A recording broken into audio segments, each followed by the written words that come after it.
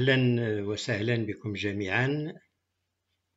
هذه يعني سلسلة جديدة هي عبارة عن حلقات مستنبطة من بعض الدراسات التي قمت بها. يتعلق الأمر بمشروع كتاب كنت قد اخترت له كعنوان مؤقت. في تفكيك دستور 2011 وإعادة تركيبه.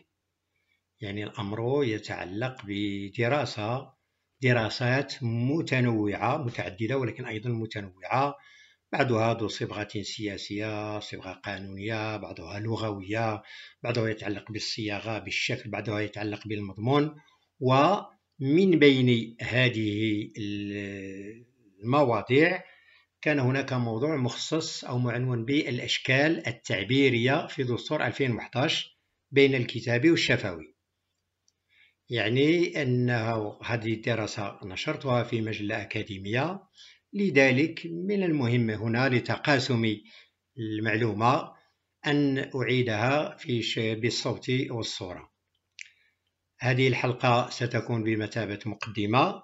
على أساس أنه سأخصص يعني حلقة لكل مفهوم من المفاهيم التي سأعالجها هنا. طبعا ما أثار انتباهي إلى هذا النوع من الدراسات هو أن دستور 2011 نتيجة الصيغة المقاربة التشاركية التي اعتمدت لصياغته يعني كان واضح من خلال تكوين اللجنة على أنه هناك مشارب وهناك تنوع وهذا التنوع يعني تم عكسه عند صياغة الدستور. لذلك سنجد بأن القاموس المستعمل هو قاموس واسع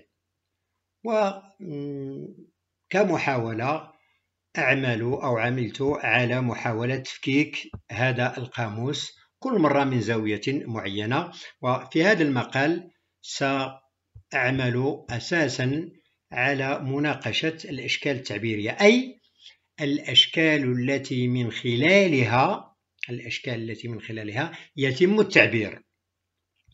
طبعا سيقول البعض بأنه هناك بعض الأشكال وهذه مسألة بديهية واضحة لذلك سأستبعدها. هناك بعض الأشكال التي التعبيرية التي لا يمكن أن تكون إلا كتابة مكتوبة.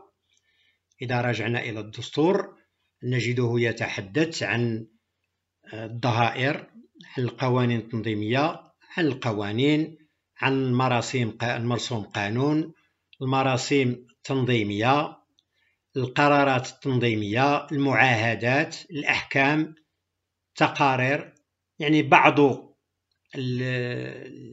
الأشكال التعبيرية واضح على أنها لا يمكن أن تكون إلا كتابية. هذا جانب طبعا يمكن أن يكون موضوع دراسة خاصة. لكن في هذه الحلقات سأركز فقط على الأشكال الآتية. هي عدة أشكال لكن آه، حاولت أو التزاما مني بالنص الدستوري جمعتها وفق ما تم التنصيص عليها وهي على التوالي كما يلي الخطاب التصريح العرض الإدلاء بالبيانات التقرير الإعلان الإشهار الإدلاء بالرأي والمجادلة الأسئلة والمساءلة والأجوبة المناقشة والنقاش التداول وأخيرا تقديم الفتوى. إذن هذا هو مجموع المفاهيم التي سأعالج مفهوما في كل حلقة. كمقدمة للحلقة القادمة حول الخطاب طبعا عندما قلت الخطاب يتبادر إلى ذهننا جميعا وبشكل بديهي الخطاب الملكي. سؤال كيف نترجم الخطاب الملكي؟ طبعا ستقولون discours royal خطأ. رجعوا للدستور. الدستور كلمة خطاب يقابلها في اللغة الفرنسية message أما خطاب التي يقابلها discours فهي خاصة برؤساء الدول الأجانب عندما يلقون خطابا بالمغرب خاصة أمام البرم إذا نلتقي في الحصة القادمة للمزيد من التدقيق. تحياتي.